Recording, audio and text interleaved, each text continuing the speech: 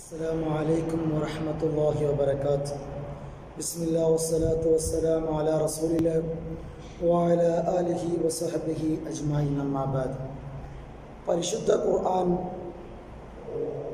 അതിൻ്റെ മഹത്വം അതിൻ്റെ നിയമം അതെങ്ങനെയാണ് പാരായണം ചെയ്യേണ്ടത് എന്നുള്ള ഒരു ചർച്ചയാണ് ഇവിടെ വരമ്പം കുറിക്കുന്നത് ഖുർആൻ മഹത്തമ ഖുർആൻ മുതൽ മഹത്തമായ കർമ്മമാണ് എന്നുള്ളത് ഏതൊരു മുസൽമാന്റെയോ ഏതൊരു മനുഷ്യന്റെയോ ഇടയിൽ ചർച്ചയില്ലാത്ത ഒരു കാര്യമാണ്. വിശ്വാസിയുടെ മനസ്സിൽ സമാധാനവും കുളിർമയും നിത്യചൈതന്യവും അതിനുപരി ഒരു പ്രത്യേക രക്ഷാ കവചവുമാണ് ഖുർആൻ എന്ന് പറയുന്നത്. സ്വല്ലല്ലാഹു അലൈഹി വസല്ലമ തങ്ങൾ പറയുന്നു ആ വല്ലവനും ഖുർആൻ ഓതുകയാണ് എങ്കിൽ അവന് നാളെ അവന്റെ മാഴ്ശറയിൽ ശിപാർശകനായി ഖുർആൻ വരുമെന്ന് അവിടുന്ന് അരുളുകയാണ്. പാരായണം ചെയ്യുമ്പോൾ ചില പ്രത്യേക കാര്യങ്ങൾ പാലിക്കേണ്ടതുണ്ട്. ആ പാലിക്കുന്നതിനാണ് തെജ്വീദ് എന്ന് പറയുന്നത്.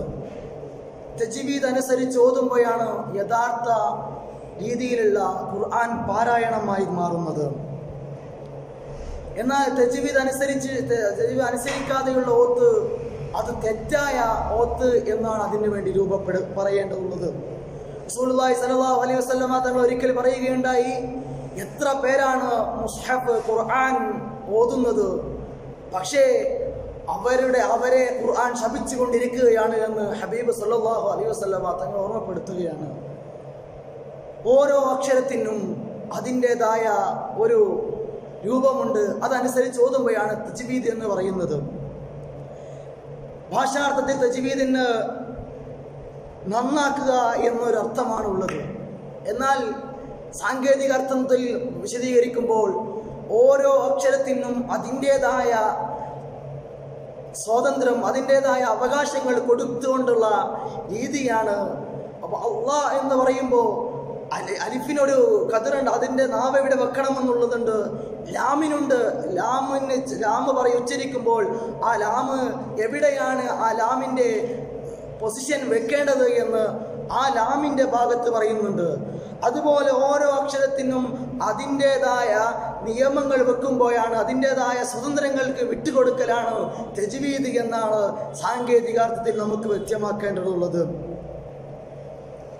തനതായ ശൈലി അതിന്റെ ഖുർആാനിന്റെ തനതായ ശൈലിയിൽ ഓതുമ്പോഴാണ് നല്ല ആകർഷണീയം ഒരാളിലേക്ക് ആകർഷകമായി എത്തുന്നത്. അറബി അറിയുന്നവരും അറിയാത്തവനും ഖുർആൻ വായിക്കാം എന്നേ പറയാൻ പറ്റുള്ളൂ. പക്ഷെ ഖുർആൻ ഓതാൻ അറിയണമെങ്കിൽ അറബിയിൽ വായിക്കാനും അറബിയിലെ നിയമം അറിയാനും ഈ തജ്വീദൻ നിയമം അറിയുന്നവന് മാത്രമേ സാധിക്കുകയുള്ളൂ. നമുക്കറിയാം ഹബീബ് സല്ലാഹു അലൈ വസല്ലമ തങ്ങൾ ഒരു സ്ഥലത്ത് ഇരിക്കുമ്പോൾ ഹബീബ് സല്ലല്ലാഹു അലൈഹി വസല്ലമ തങ്ങൾ കാബ ഷരീഫിന്റെ അടുത്ത് ഇരിക്കുകയാണ് ആ സമയത്ത് റസൂലായി തങ്ങൾ അങ്ങനെ ഓതുകയാണ്. സൂറത്തു നജ്മിലെ സൂറത്തു നജിം അങ്ങനെ ഓതിക്കൊണ്ടിരിക്കുകയാണ്. അബൂ ജഹലും കൂട്ടർ എല്ലാവരും കാബയുടെ ചുറ്റുമുണ്ട്. അവിടെ നിന്ന് റസൂലുള്ളാഹി തങ്ങൾ അങ്ങനെ ഓതി വസ്തുദില്ലാഹി എന്ന് പറയുന്ന ആ ഭാഗമെത്തിയപ്പോ എല്ലാവരും അബൂ ജഹൽ ഒഴികെയുള്ള എല്ലാവരും സുജൂതിലേക്ക് വീഴുകയാണ് സഹോദരങ്ങളെ. എന്താണ് തെജിബീദിൽ അങ്ങ് ലയിച്ചുകൊണ്ടുള്ള ഓത്തിൽ മുസൽമാൻ ആവണമെന്നോ മുസ്ലിം അല്ലാത്തവനാവണമെന്നോ ഒന്നുമില്ല. അറബി അറിയുന്നവനോ അറിയാ. അറിയാത്തവനോ ഒന്നും അവിടെ കണക്കില്ല തെജിവീത് അറിഞ്ഞുകൊണ്ടുള്ള ഓത്ത്. ആ ഓത്ത് നടക്കുമ്പോൾ അത്രമാത്രം മനസ്സ് പിടിച്ചു കുയർക്കാൻ മാത്രം ആ ഖുർആാനിന്റെ ശൈലിക്ക് സാധിക്കുമെന്നുള്ളത് ഒരുപാട് ചരിത്രങ്ങൾ ഒന്ന് ഒരുപാട് ഒരുപാട് എണ്ണി തീർക്കാൻ കഴിയാത്തത്രയും ചരിത്രങ്ങൾ രേഖപ്പെടുത്തിയിട്ടുണ്ട്. ഖേദമെന്ന് പറയട്ടെ ഈ കാലഘട്ടത്തിൽ ഇപ്പോ തജ്വീദ് അനുസരിച്ചു കൊണ്ടുള്ള ഓത്ത് വളരെ വളരെ കുറഞ്ഞു കുറഞ്ഞു കൊണ്ടിരിക്കുകയാണ് സഹോദരങ്ങളെ. എത്രയും അത്രയും നമുക്കറിയാം നമുക്ക് നിത്യേന നിർബന്ധമായതാണല്ലോ പതിനേഴ് തവണ ഫാത്തിഹ സൂറത്തോതിൽ. അതുപോലും തെറ്റായി ഓതുമ്പോ നിസ്കാരത്തിന്റെ കഥ ഫലപ്രദമാവാത്ത രീതിയിൽ ആയി മാറുന്നു എന്നുള്ളത് വളരെ സങ്കടകരമായ അവസ്ഥയാണ്. അതുകൊണ്ട് തന്നെ നിസ്കാരത്തിന്റെ നിയമത്തെക്കുറിച്ചുള്ള ഈ ഒരു ചെറിയൊരു ദാവാ പ്രവർത്തനം ഇൻഷാ അല്ലാ നമുക്ക് മുന്നോട്ട് പോവേണ്ടതുണ്ട്.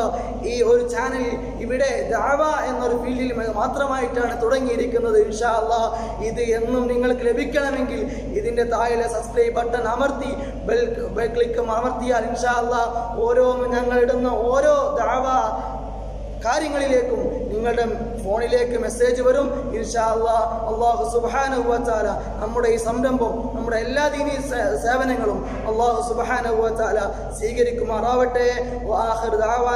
അലഹമുല്ലാഹി റബുലാലമീൻ ദുആ വസിയത്തോടു കൂടെ അസ്സലാമു അലൈക്കും വറഹ്മത്തുള്ളാഹി വബറകാതുഹു.